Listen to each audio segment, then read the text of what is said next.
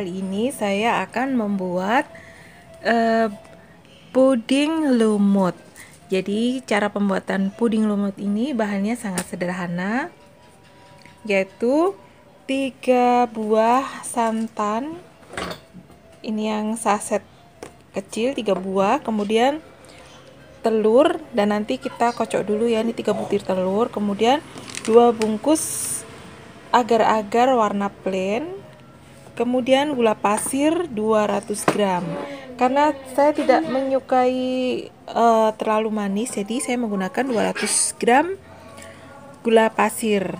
Untuk anda yang suka manis bisa ditambah sesuai dengan selera. Kemudian seperempat ini garamnya sedikit saja ya seperempat sendok teh garam untuk penguat rasa karena kita menggunakan santan. Kemudian air putih air putihnya 1400 ml. Dan satu lagi uh, ini saya menggunakan pasta pandan. Karena saya tidak sempat untuk membuat dari pandan asli. Buat yang mau memakai pewarna asli dari daun pandan atau daun suji itu lebih bagus karena di dalam zat uh, daun itu uh, sangat bagus juga untuk kesehatan. Jadi caranya sangat mudah.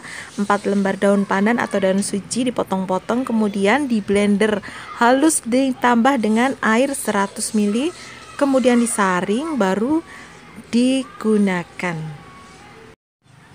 Oke, selanjutnya step by step cara pembuatannya. Pertama-tama kita kocok ya.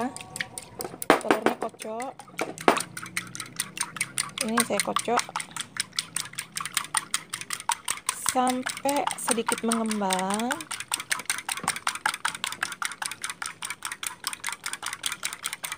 Nah. Oke, seperti ini. Nah, ini sudah saya kocok.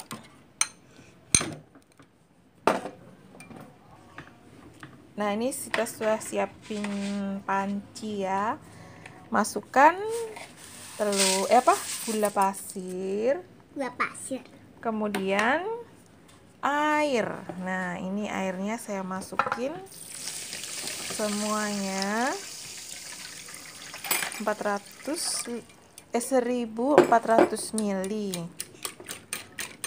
stop stop lalu agar-agar agarnya berapa dikit hmm. masukin jangan gitu nah gini ya masukkan agar-agar. Lagi. Ayo lagi. Ih asik. No no no no. Sampai banyak sekali. Uh -uh. Nah. Ngocok tata buat tata. Oh. ini aduk rata aduk sampai kental. Ya diaduk. Nah ini diaduk ya. Mama, lalu? kalau dipencet-pencet apa kalau dipencet-pencet garam sekarang garamnya kita masukkan lalu pasta pasta pandannya ini yang saya pakai setengah Mas tengok makan wow, dulu ya. Jadi warna apa? Iya, warnanya hijau cantik. Aja tata tahu warna hijau. Saya pakai setengah sendok ya, setengah sendok. Makan, tengok tengok tengok. Ini dia apa? Biar rata, tengok tengok.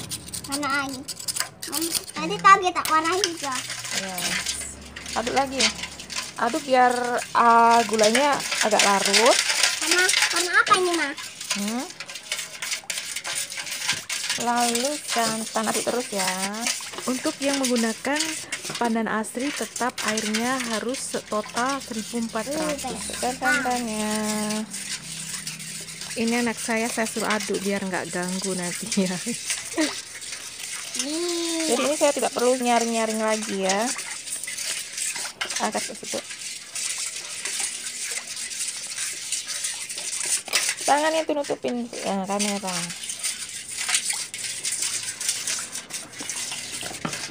Sih sekalian untuk ngomong anak karena anak-anak suka mainan seperti ini. Dan aduk sampai santannya merata sampai rata tidak ada yang menggerindil Tapi warna iya, hijaunya warna hijau. Iya, sini. Nah, diaduk-aduk ini jangan dikocok ya. Lalu terakhir masukkan 3 butir telur yang sudah dikocok. Langsung masukkan. Ini jadi warna apa nih? Hmm? Warna apa? Warna krim muda. ya. Terus. Awas. Mama tapi yang aduk.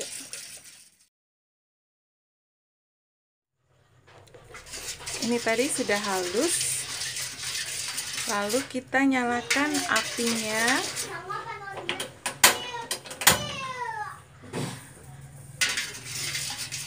Nyalakan apinya dengan api sedang. Uh, ini tips untuk menghasilkan lumut yang kecil-kecil. Jadi nanti setelah mendidih itu sekali-sekali diaduk, jangan uh, jangan dilakukan pengadukan apa sering-sering ya, karena nanti akan lumutnya itu jelek karena halus sekali. Nah, kalau mau menghasilkan lumut yang besar-besar, itu setelah mendidih kita biarkan aja. Jadi mendidih, jangan diaduk setelah kira-kira uh, biar agak terlalu besar mak maksudnya nanti dilakukan pengadukan sekali-sekali. Nah, kalau ini saya mau menggunakan uh, saya ingin lumutnya itu hasilnya sedang dan merata jadi nanti sekali-sekali saja saya aduk ya. Begitu apa? mendidih langsung saya aduk pelan-pelan ada satu yang terlupa yaitu perasan jeruk nipis atau lemon jadi tadi saya lupa memberi perasan lemon itu satu sendok teh gunanya untuk menghilangkan rasa dan bau amis daripada telur aduk hingga merata Nah, ini sudah terlihat airnya mulai mendidih ya dan sudah terlihat lumutnya. Ini saya biarkan dulu ya biar agak uh, lumutnya itu agak keluar banyak. Baru saya aduk. Nah, ini aduknya perlahan aja.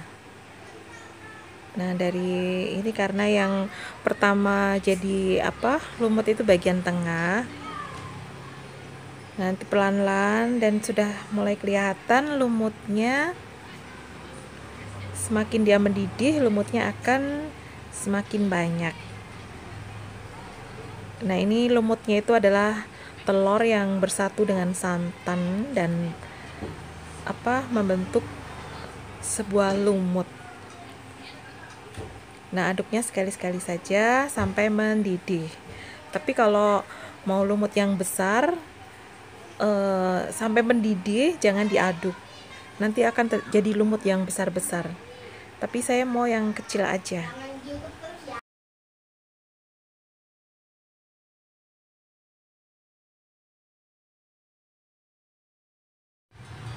ini agar-agarnya sudah mulai mendidih lalu saya aduk.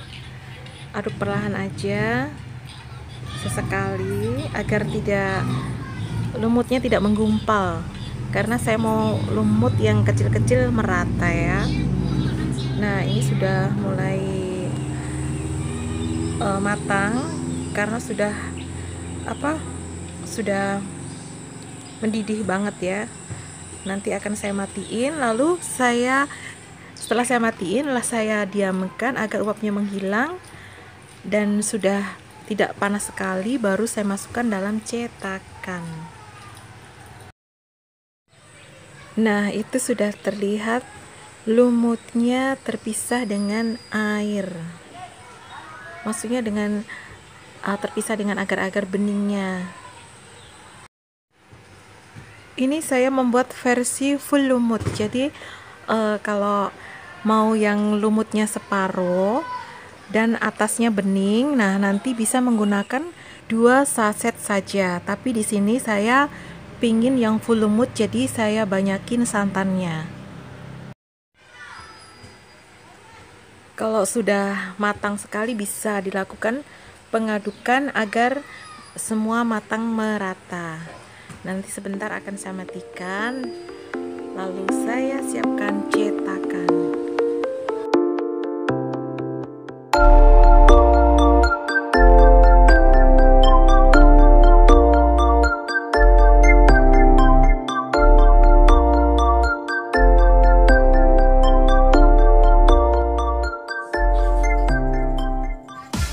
Nah ini saya menggunakan cetakan dari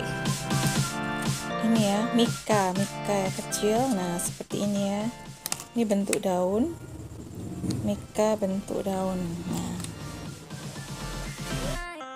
Setelah agar-agarnya sudah agak dingin, tidak begitu panas, maka saya tuang tapi harus diaduk dulu ya agar apa? uh, lumutnya merata masuk dalam cetakan untuk cetakan uh, terserah mau cetakan apa aja.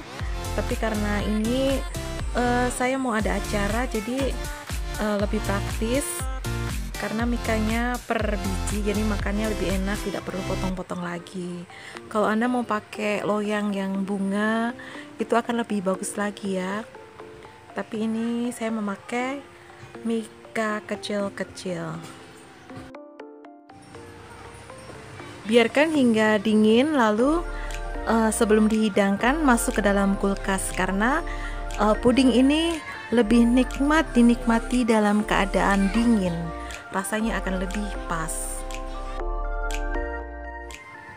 Oke, terima kasih sudah menyaksikan video saya. Jangan lupa like, comment, dan subscribe. Semoga bermanfaat. Bye bye.